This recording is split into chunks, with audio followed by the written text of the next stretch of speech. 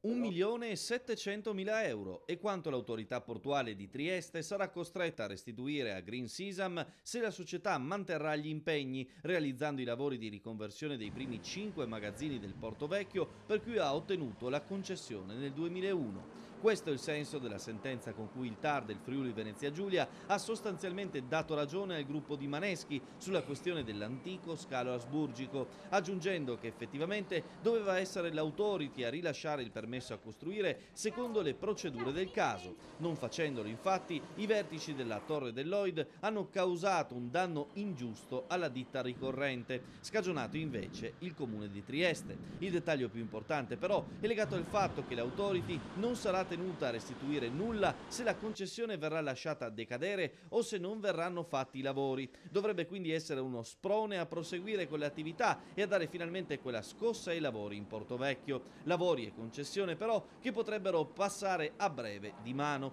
pur mantenendo inalterati i vincoli della sentenza, visto che Maneschi ha recentemente confermato l'imminente passaggio di Green Sesam a un gruppo finanziario europeo. L'altra sentenza pubblicata ieri dal TAR blocca invece il progetto di rafforzamento del terminal ferroviario della Samer. Il TAR ha dato ragione al ricorrente, la EMT di Parisi, e annullato l'atto del comitato portuale, esclusi i rappresentanti di Ferrovie della Presidente Poropat, che aveva avevano votato contro, che aveva deliberato di rilasciare la concessione, poi non firmata proprio in attesa del pronunciamento del TAR.